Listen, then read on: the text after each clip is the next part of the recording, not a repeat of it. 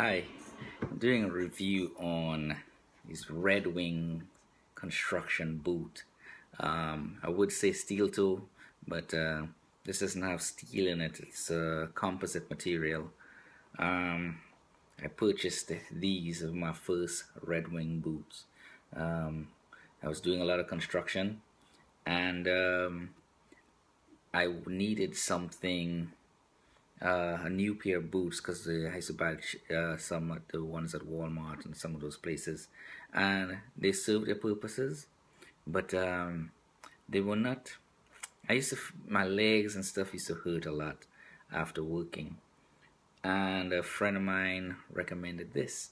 Uh, uh, recommended looking at Red Wings, um, and believe me, the, the, the sticker price really. Um, you know threw me for a loop but um, after doing a lot of research on the company and at the time I was uh, big on American made shoes uh, unfortunately these Red Wings were made in China. Um, but it was the only one they had in the store that fit my purposes. And I have to say these are the most comfortable boots or shoes I've ever owned. And um, I would assume any shoe that Red Wing make carry the same technology for um, for comfort. I wore these the first day I wore these, no break-in period. When I came home, I had no stress on my feet my calf muscles, my quads, my butt, everything was just relaxed. There was no pain, zero pain.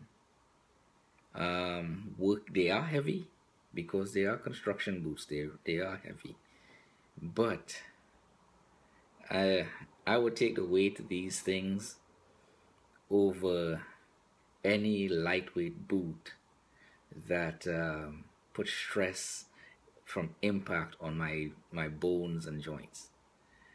Um, and and muscles too. The only other pair of shoes that came close to these um, I did a review on the Quokka's uh, Snowjack. Those are really comfortable but I have never worn those for the length of time that I've worn these. So Red Wing is doing something right. And I don't work for Red Wing. Um, I'm just doing the review because I'm sure there are people out there who um, who might benefit from this, just like I benefited from those that reviewed other boots, um, other uh, that I um, was able to draw upon. Grip is really good on the insole on the sole. There's a Vibram sole. Really doesn't mean anything to me. Um, apparently it's supposed to be really good with that. But as far as the comfort of these shoes, they're incredible. I did not buy the extra insole um, because I tried it and it was it felt uncomfortable to me. Um, but the soles that these came with, the insoles, they were fine for me. Some of the some people may need the uh, uh, the other insole it's supposed to give you more comfort. It just didn't for me. Um, I did another review on the on this Vasque Ultra SST. I know I said Vaske on the video. Uh, the correct uh, word for this is Vasque. Um, I'll just have to go back and redo that video if someone, be, you know, become kind of hell bent on on the details of the pronunciation of that. Um, those yellow ones, they're really comfortable too. Sister company to Red Wing. Same company, just a different branch. And again, we got the the Quokka Snowjack. Um, very close runner to this. Um, but it's a, it's a different application and I don't really wear those as, uh, for long periods of time but I wore these. And these are really really good boots. Uh, there are some reviews out there some really bad um, uh, Red Wing boots uh, fell apart and things of that nature. Uh, Red Wing has warranties on, on their their boots, so um, you know keep the receipt and uh, the box, and um, if something like that occurs, know, just take it back to the store.